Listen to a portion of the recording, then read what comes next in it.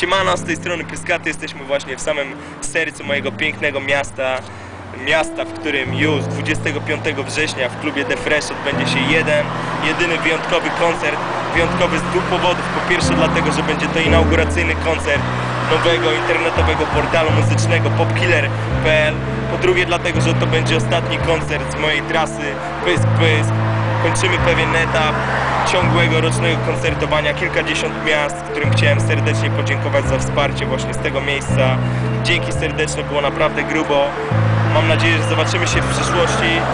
A teraz chciałem Was jeszcze raz zaprosić. Pamiętajcie, 25 września, Klub The Fresh, Warszawa. Oprócz mnie zagra Zeus, Sobota, J i przede wszystkim Shivers Tomiko, którzy w Uptown Records wydają płytę pod tytułem Ogień już w październiku 2010. A my, mam nadzieję, zobaczymy się w klubie The Fresh.